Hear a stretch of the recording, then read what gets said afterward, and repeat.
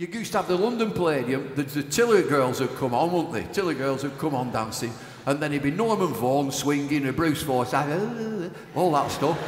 They've got this novelty act. It's a bloke that comes on stage with a boxing kangaroo. And it's come on stage and knocked seven bells out of him. He keeps it in a cage at the back of the Apollo. It goes out the back of the cage. It's open, it's gone.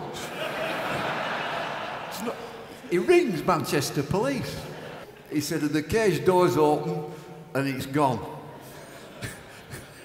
Manchester policeman says, can you give us a description?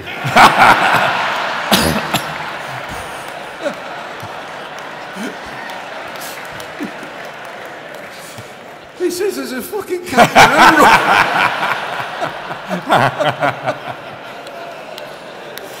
Oh, Bumble. Bumble, Bumble, Bumble. Ladies and gentlemen, David Lloyd.